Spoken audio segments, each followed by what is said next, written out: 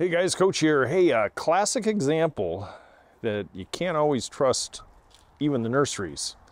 And that is, is when they bring in stock because a regional manager or something said, hey, we're gonna bring in magnolias to all the box stores in my region. Well, here's a classic example of bringing a magnolia that is only good down to about zone six up into zone four. You can see what has happened since it's landed here.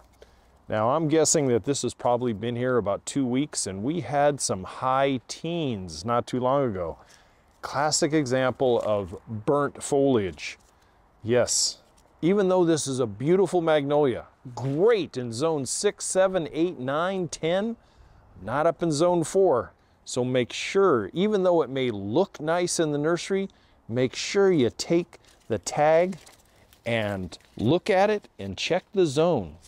Um, you know, if you don't know your plants, these tags are, are absolutely invaluable as far as where things can grow and where they cannot.